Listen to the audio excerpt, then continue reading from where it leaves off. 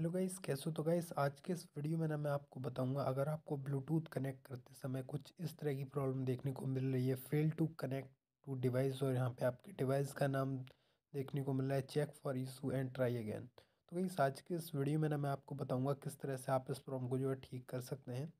तो चलिए वीडियो को स्टार्ट करते हैं, जान लेते हैं। इसके लिए अब आपको क्या करना होगा, जिससे भी आप कनेक्ट कर रहे हैं, उसका यहाँ पर आपको नेम नेम दिखाई देगा। तो आपको उस पर क्लिक करना है। यहाँ पे आपको अनपेयर कर देना है। ये आपको कर देना है और एक बार आपको अपनी सेटिंग्स में जाना है। सेटिंग्स में जाना है और यहाँ पे ना आपको एक सेटिंग्स देखने को मिलेगी। सिस्टम सेटिंग सिस्टम सेटिंग पे क्लिक करना है। यहाँ पे आपको बैकअप एंड रीसेट पे क्लिक करना है और यहाँ पे आपको रीसेट फ़ोन पे क्लिक करना है। रीसेट नेटवर्क सेटिंग पे क्लिक करना है और यहाँ पे आपको इसे वेरीफाई कर देना है लॉक से। तो ये आपको कर देना है। यहाँ से आपको ये सेटिंग रीसेट कर देनी है। सेटिंग रीसेट करने के बाद अब आपको ये चेक कर लेना है कि आप जिससे भी कनेक्ट कर रहे हैं, वो डिवाइस पहले से किसी और डिवाइस से कनेक्टेड तो नहीं है तो यह आपको ना एक बार कंफर्म कर लेना है, उसके बाद आपको ब्लूटूथ सेटिंग में फिर से आना है और आपको इसे ऑन करना है।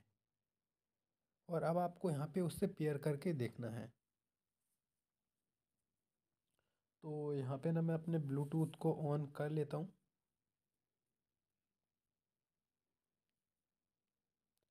तो अब आपको यहाँ पे इससे कनेक्ट करना है।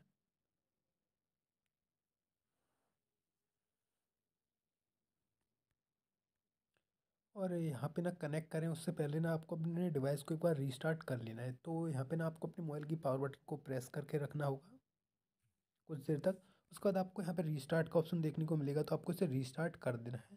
तो अभी ना मैं आपको इसे लाइव रीस्टार्ट करके नहीं दिखा सकता हूँ, क्योंकि अगर मैंने रीस्टार्ट किया तो ये जो वीडियो मैं बना रहा हूँ, वो कट जाएगी तो ये आपको खुद कर लेना है। और उसके बाद अब आपको ब्लूटूथ सेटिंग में जाना है। तो रीस्टार्ट ज़रूरी है रीस्टार्ट आपको कर लेना है। तो यहाँ पे ना मैं स्कैन कर लेता हूँ, यहाँ पे मेरा डिवाइस अभी यहाँ पे शो करेगा। तो यहाँ पे ना मेरा आ चुका है तो यहाँ पे ना हम इस पर क्लिक करेंगे।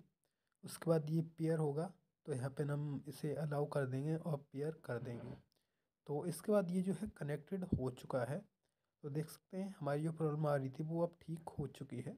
तो कुछ तर, इस तरह से आपको ये जो मैंने आपको सेटिंग्स बताई हैं उन्हें आपको करना है जिसके बाद आपकी ये जो प्रॉब्लम है वो आसानी से ठीक हो जाएगी। तो मुझे उम्मीद है कि आपको ये वीडियो पसंद आया होगा। अगर आपको ये वीडियो पसंद आए तो इस वीडियो को लाइक कीजिए शेयर कीजिए। इस चैनल पे अगर आप पहली बार आए हुए हैं तो इस चैनल को ज़रूर सब्सक्राइब कर दीजिए।